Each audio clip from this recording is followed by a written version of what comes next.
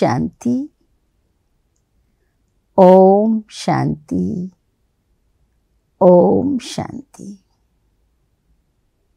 మురళి తారీఖు పది మార్చ్ రెండు వేల ఇరవై రెండు. సాకార మురళి. మధురమైన పిల్లలరా ప్రపంచమంతా ఏ భగవంతుని స్మృతి చేస్తూ ఉందో వారు మీ సన్ముఖములో కూర్చొని ఉన్నారు. అటువంటి తండ్రితో మీరు సంపూర్ణ వారసత్వం తీసుకోండి. మర్చిపోకండి. ప్రశ్న.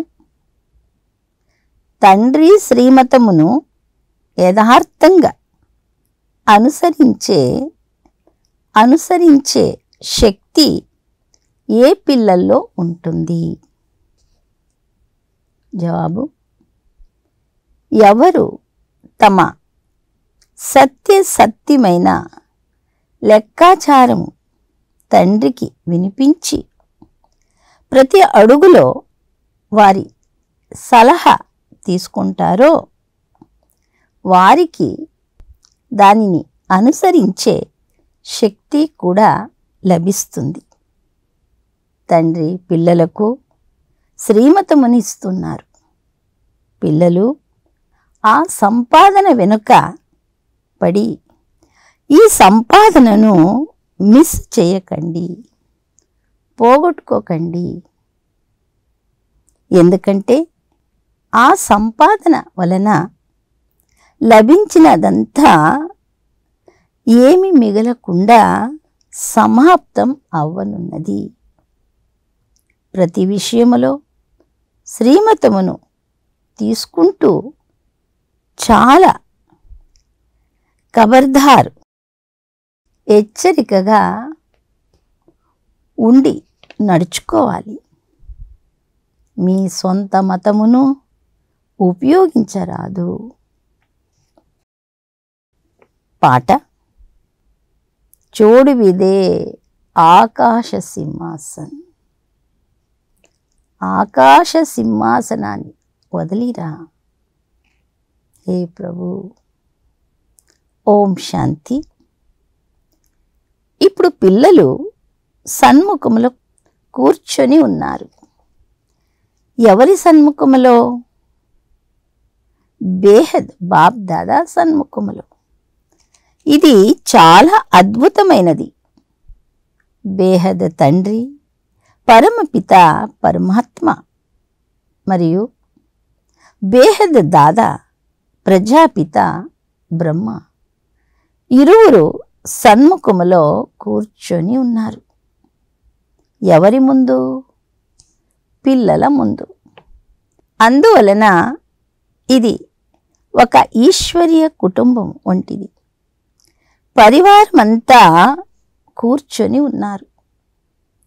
అనంతమైన తండ్రి కూర్చొని పిల్లలను చదివిస్తున్నారు. లేక రాజయోగాన్ని నేర్పిస్తున్నారు. ఇది బుద్ధిలో ఉంటే ఖుషి పాదరస మట్టము పైకి ఎక్కుతుంది. ఈ సమయంలో చాలా దుఃఖములో ఉన్నామని పాటలు కూడా అంటున్నారు. ఓ బాబా మీరు రండి అని ఆహ్వానిస్తూ ఉంటారు. ఇక్కడ వారు మీ సన్ముఖములో కూర్చొని ఉన్నారు. అనంతమైన తండ్రి ఈ దాదా ద్వారా మనలను చదివిస్తున్నారని మీకు తెలుసు. పిల్లల బుద్ధిలో కూడా నంబర్ వారు పురుషార్థనుసారము బుద్ధిలో నిశ్చయం ఉంది. బ్యారిస్టరీ చదువుకుంటూ ఉంటే వీరు మాకు బ్యారిస్టరీ చదువు చదివిస్తున్నారని తప్పకుండా నిశ్చయం ఉంటుంది కదా. ఫలానా సర్జన్ మాకు సర్జరీ నేర్పిస్తున్నారని ఉంటుంది. కానీ ఇది ఎంత అద్భుతమైన చదువు అంటే ఇప్పుడిప్పుడే బేహద్ తండ్రి నిరాకారులు మమ్ములను చదివిస్తున్నారు రాజయోగము నేర్పిస్తున్నారని పక్కగా నిశ్చయముందని అంటారు. కానీ ఇప్పటికిప్పుడే బయటకు దూరంగా వెళుతూనే నిశ్చయం తగ్గిపోతుంది. ఇది అద్భుతం కదా. ప్రపంచమంతా ఏ భగవంతుని స్మృతి చేస్తూ ఉందో వారే స్వయంగా పిల్లల సన్ముఖంలో కూర్చుని పిల్లలు ఇప్పుడు తండ్రి నుండి వారసత్వం తీసుకునే పురుషార్థము బాగా చేయండి. అర్థము కూడా చేసుకుంటారు. కానీ ఒక్క సెకండ్లో మర్చిపోతారు. మీరు అనంతమైన తండ్రి సన్ముఖములో కూర్చుని ఉన్నారు. అడుగడుగులో శ్రీమతమును అనుసరించాలి. సమాచారము తండ్రికి వారి సమాచారాన్ని పూర్తిగా తెలిపిన వారే శ్రీమతమును అనుసరిస్తారు. పిల్లల క్షేమ సమాచారాలు ఎలా ఉండేది? ఏం చేసేది? మొదలైన సమాచారమంతా తండ్రి వద్దకు పూర్తిగా రావాలి. అప్పుడు తండ్రికి కూడా తెలుస్తుంది. దాని ప్రకారము సమయానుసారము సలహా ఇస్తూ ఉంటారు.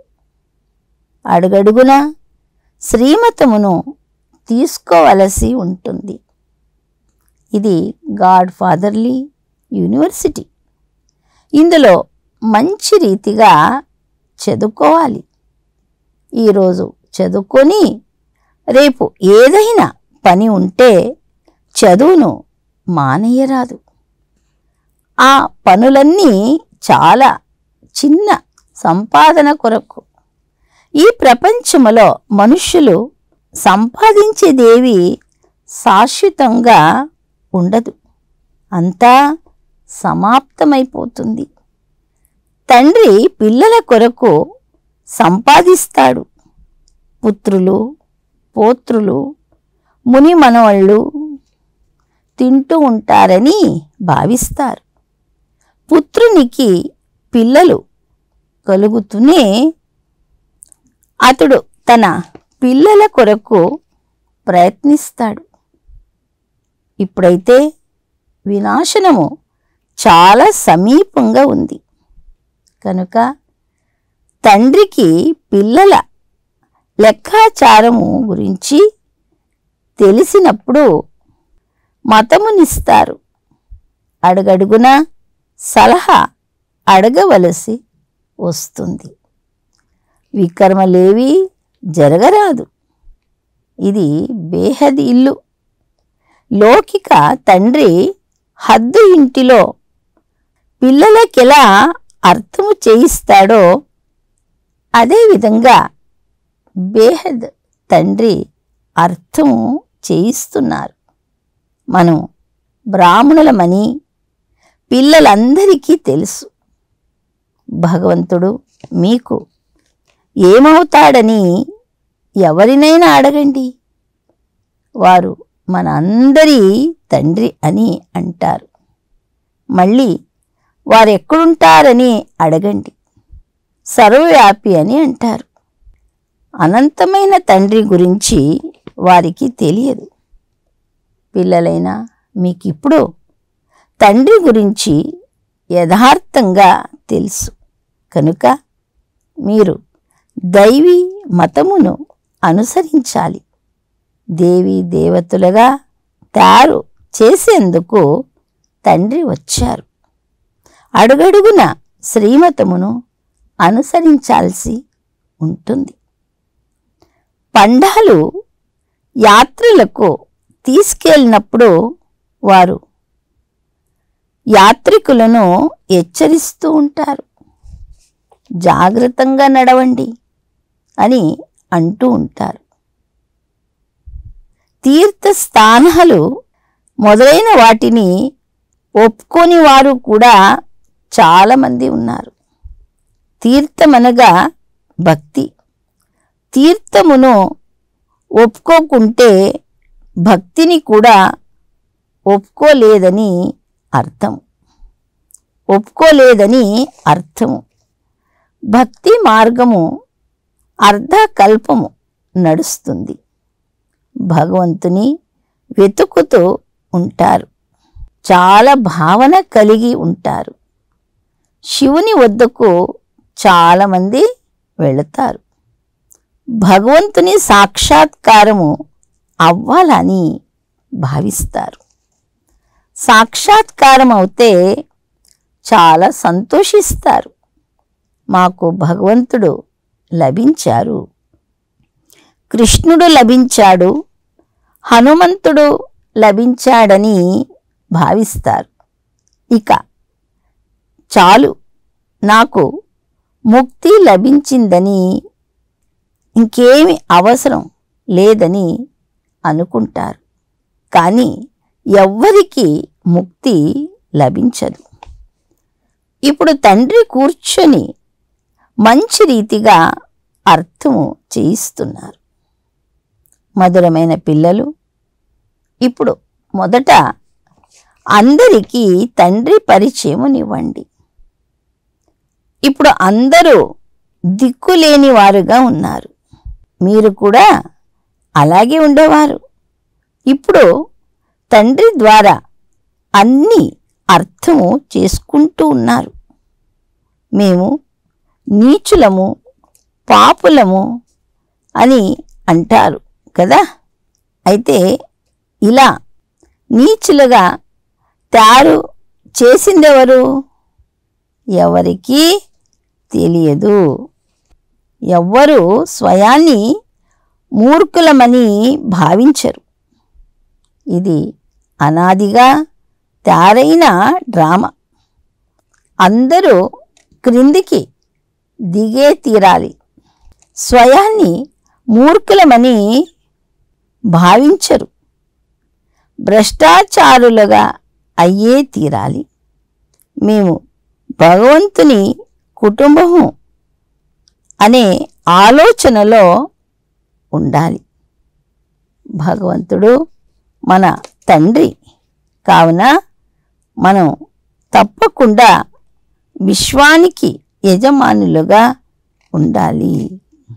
కానీ ఇటువంటి దుర్గతి మనకు ఎందుకు పట్టింది? ఎవరి బుద్ధి కూడా ఇలా పని చేయదు. ఒకవైపు పరమాత్మ సర్వవ్యాపి అని అంటారు మరోవైపు శాంతి ఎలా స్థాపన అవుతుందని అంటారు. అయోమయములో పడి ఉన్నారు. సమావేశాలు జరుపుతూ ఉంటారు. అర్థం చేయించినా అర్థము చేసుకోరు. అటువంటి వారు చివర్లో తెలుసుకుంటారు. పిల్లలైన మీరు యోగములో ఉండి కర్మాతీతులుగా అవ్వాలి. మీరే సంపూర్ణ నిర్వికారులుగా ఉండేవారు. మళ్ళీ అలాగే తయారవ్వాలి. మిగిలిన ఇన్ని ఇతర ధర్మాలు సత్యుగములో ఉండవు. సత్యుగములో ఉన్నవారే చాలా కాలము నుండి వేరైపోయారు. వారినే అపరూపమైన పిల్లలని అంటారు. ఆత్మ పరమాత్మ చాలా కాలము వేరుగా ఉండినారు. ఏ ఆత్మలు? మొట్టమొదట పరంధామము నుండి పాత్ర చేసేందుకు వచ్చారు. మొట్టమొదట దేవీ దేవతా ధర్మము వారు పాత్ర చేసేందుకు వస్తారు. వారు వస్తే మన ధర్మములోకి తీసుకురావాలి. తండ్రి అంటున్నారు వారి కొరకే రావాల్సి వచ్చింది. వారితో పాటు ఇతరులందరి కొరకు కూడా తప్పకుండా రావాల్సి వచ్చింది. ఎందుకంటే అందరికీ ముక్తినివ్వాలి. ఇప్పుడు దేవత ధర్మము లేనే లేదు. వారిదే వారిదే అంటు కట్టాలి. ఒక్కొక్కరు ఒక్కొక్క ధర్మములోకి వెళ్ళిపోయారు. వారే మళ్ళీ వస్తారు. ఈ ధర్మ స్థాపన చాలా అద్భుతమైనది. అందుకే ఓ ప్రభు గతి సద్గతినిచ్చే మీ శ్రీమతము చాలా అద్భుతమైనది. అది ఎవ్వరు అర్థం చేసుకోలేరని అంటారు. దేవీ దేవతా ధర్మం ఎలా ధర్మం ఎలా స్థాపన అవుతుంది ఇంత సమయము ఎవరైతే పతితులై దేహ అభిమానములో పడి ఉన్నారో వారు వారు మళ్ళీ దేహి అభిమానులుగా అయ్యేందుకు శ్రమ చేయాలి. క్షణక్షణము మర్చిపోతారు. బాబా అంటున్నారు లేస్తూ కూర్చుంటూ నన్ను స్మృతి చేయండి. మీపై వికర్మల భారము చాలా ఉంది. మీరు సుఖము కూడా చాలా ఎక్కువగా చూశారు అనుభవించారు. అలాగే దుఃఖము కూడా చాలా చూశారు. ఇప్పుడు మళ్ళీ మిమ్ములను దుఃఖము నుండి సులభములోకి తీసుకెళ్తున్నారు. కనుక శ్రీమతమును అనుసరించాలి. ఇతరులకు కూడా స్మృతినిప్పించాలి సృష్టి చక్ర రహస్యాన్ని అర్థము చేయించడం చాలా సహజం. త్రికాల దర్శులు అని వారిని అంటారు. బాబా అర్థము చేయిస్తున్నారు. మీరు భగవంతుని పిల్లలే కదా అని అడగండి. భగవంతుడు స్వర్గ రచయిత. కావున భగవంతుని ద్వారా తప్పకుండా స్వర్గ వారసత్వం లభించాలి. ఈ విషయము మీకు మాత్రమే తెలుసు. అందు అందువలన మీరే అడగాలి. ఈశ్వరుడే జన్మనిచ్చారని అంటారు. కావున ఈశ్వరునికి వారసులుగా అవ్వాలి కదా. మన తండ్రి అయిన ఈశ్వరుడు స్వర్గమును రచించిన వారు. అయితే మీరు నరకములో ఎందుకు పడి ఉన్నారు? అని అడగండి. మొదట మనం స్వర్గములో ఉండేవారమని మీకు తెలుసు. రావణుడు మనలను నరకములోకి తోసేశాడు. రావణుడంటే ఎవరో కూడా ఎవరికీ తెలియదు. ప్రాచీన భారతదేశమే స్వర్గముగా ఉండేదని. భారతవాసీయులే స్వర్గానికి అధిపతులుగా ఉండేవారని ఉండేవారని మీరు స్మృతి స్మృతినిప్పించండి ఇప్పుడు భారతదేశము నర్కంగా తయారైంది. ఇది తయారైన డ్రామా. రామరాజ్యము రావణ రాజ్యము. సగం సగం సగం ఉంటుంది. ఇదే డ్రామా. అయితే ఆ రెండింటి మధ్య ఏం జరుగుతుంది? అది కూడా వివరంగా అర్థం చేయిస్తున్నారు కొంతమంది నిశ్చయ బుద్ధి గల పిల్లలు. మేము తండ్రి ఎదుట కూర్చొని ఉన్నామని భావిస్తారు. బాబా త్రినేత్రి త్రికాలదర్శి త్రిమూర్తి బ్రహ్మ విష్ణు శంకరుల రచయిత కూడా వారే. త్రిమూర్తి శివునికి బదులు త్రిమూర్తి బ్రహ్మ అని పేరు పెట్టారు. త్రిమూర్తుల రచయిత బ్రహ్మ ఎలా అవుతాడు? బ్రహ్మ ద్వారా స్థాపన శంకరుని ద్వారా వినాశనమని మహిమ కూడా చేస్తారు.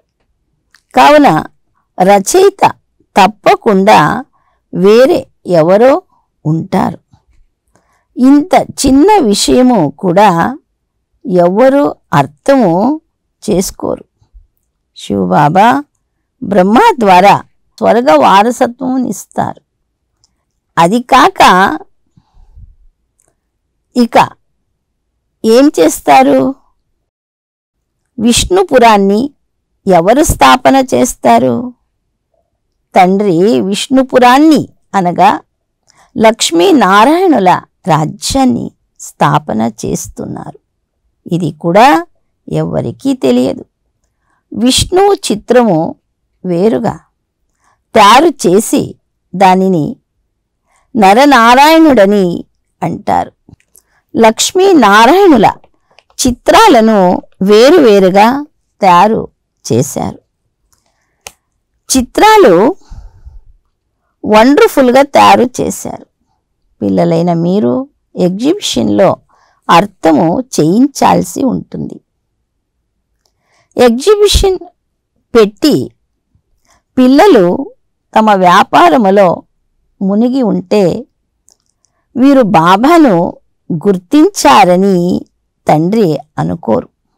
వీరే పూర్తిగా అర్థం చేసుకోలేదని బాబా అనుకుంటారు. అందుకే సేవ చేసేందుకు ఎగ్జిబిషన్కు వెళ్ళలేదు. లేకుంటే సేవ చేసేందుకు వెంటనే పరిగెత్తిపోవాలి. అందులకు ఊతకరగా అవ్వకుంటే స్వయం మీరే అందులని బాబాను తెలుసుకోలేదని భావించాలి. సేవ చేసేందుకు వెళ్ళండని ఎవరికి చెప్పని అవసరం లేదు. బాబా మేము సేవ చేసేందుకు వెళతామని మీ అంతకు మీరే వచ్చి అనుమతి తీసుకోవాలి. ఎవరెవరు సర్వీస్ చేయగలరో బాబాకు తెలుసు. బాబా మేము రెడీగా ఉన్నామని ఎవరు వ్రాయరు? మనుషులను గవ్వ నుండి వజ్రతుల్లేగా తయారు చేయాలి.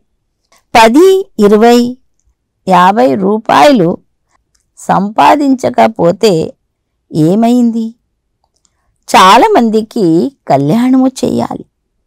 కానీ పూర్తి పరిచయము లేదు.